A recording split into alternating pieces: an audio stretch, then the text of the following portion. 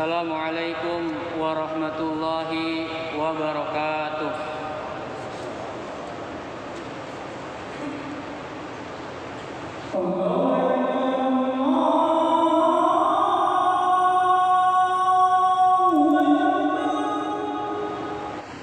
الحمد لله الحمد لله الذي هدانا لهذا وما كنا نهتدي لولا أن هدانا الله.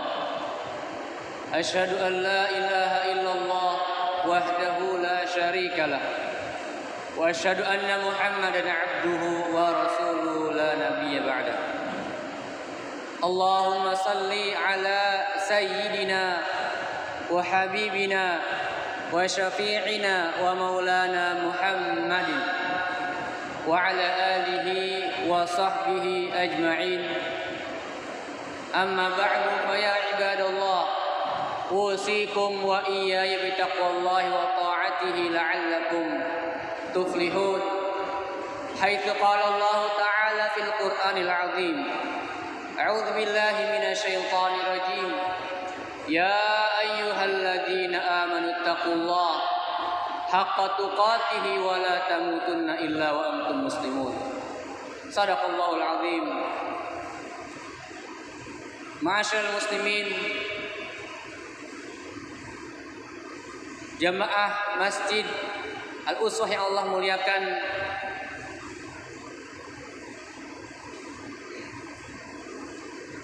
membaca dari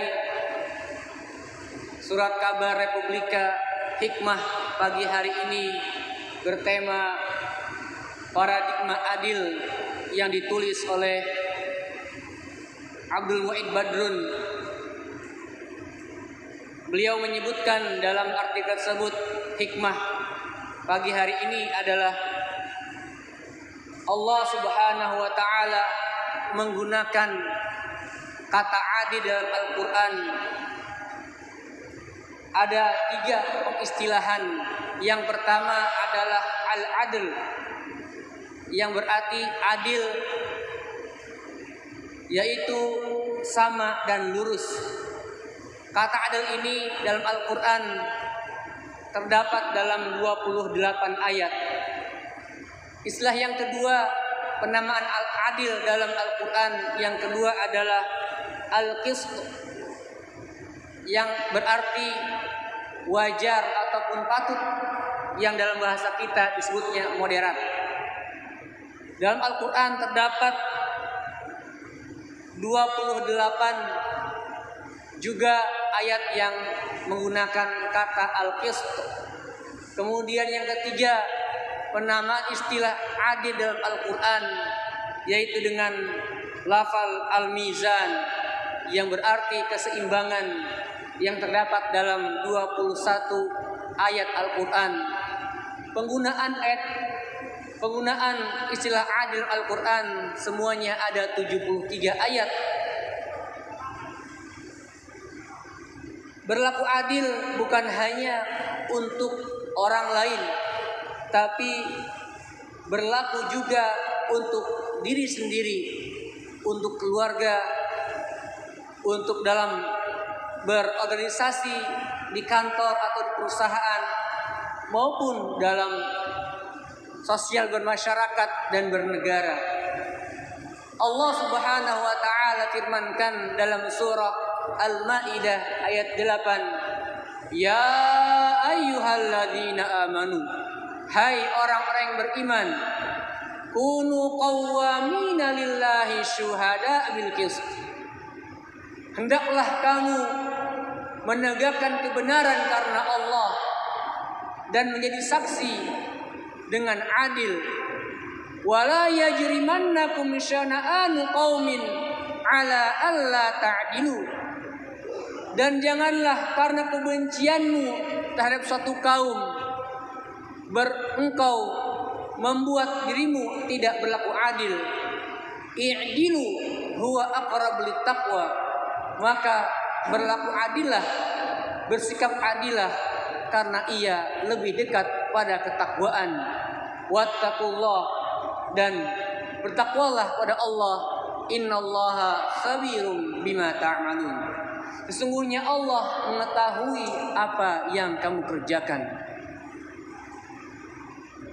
Berlaku adil dan bersikap adil memerlukan waktu, juga wisdom atau kebijaksanaan dalam diri seseorang yang menjadikan dia seorang pemimpin dalam skala yang kecil, dalam rumah tangga, dalam berorganisasi di kantor atau di perusahaan atau di masyarakat bahkan dengan berbangsa dan bernegara perlu wisdom dan kedewasaan sikap memang berlaku adil memerlukan sikap memerlukan willing dan kemauan.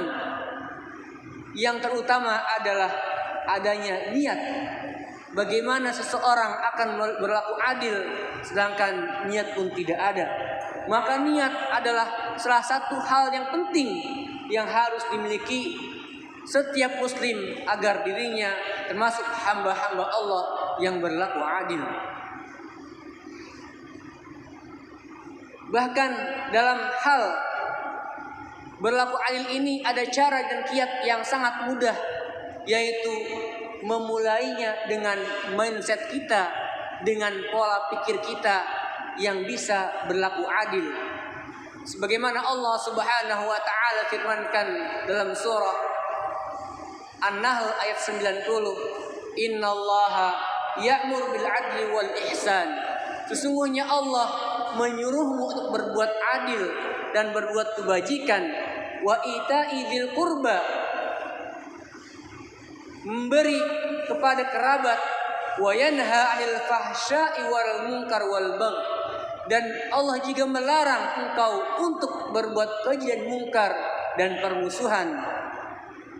Hadirin azan wa azakumullah. Ini yang terpenting dalam diri kita adalah berlaku adil baik untuk diri kita sendiri, untuk keluarga, bermasyarakat dan berbangsa dan bernegara. Barakallahu li wa lakum wa nafa'ani wa iyyakum bima fil ayat wa dzikril hakim wa taqabbala minna minkum tilawatahu innahu alim fastaghfiruh innahu huwal ghafurur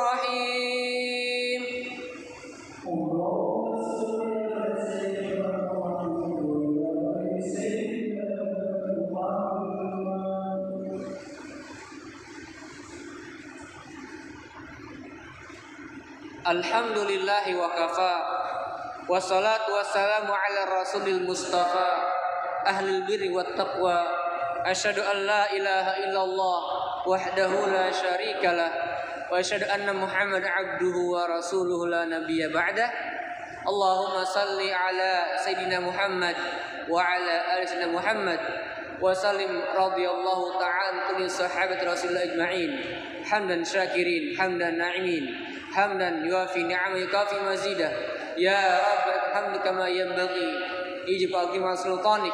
اللهم اغفر للمسلمين والمسلمات والمؤمنين والمؤمنات الأحياء منهم والأموات. برحمتك يا قاضي الحاجات. اللهم إنا نسألك الهدى والتقى والعفاف والغنى. اللهم اكشف عنا البلاء والوباء. والفحشاء والمنكر والفتن والمحن ما ظهر منها وما بطن من بين هذا أندونيسيا خاصة ومن بلدان المسلمين عامة ربنا آتنا في الدنيا حسنة وفي الآخرة حسنة وقنا عذاب النار. عباد الله إن الله يأمر بالعدل والإحسان وإيتاء ذي القربى وينهى الفحش والمنكر والبغي يعظكم لعلكم تذكرون ولذكر الله أكبر وأقيموا الصلاة. الله.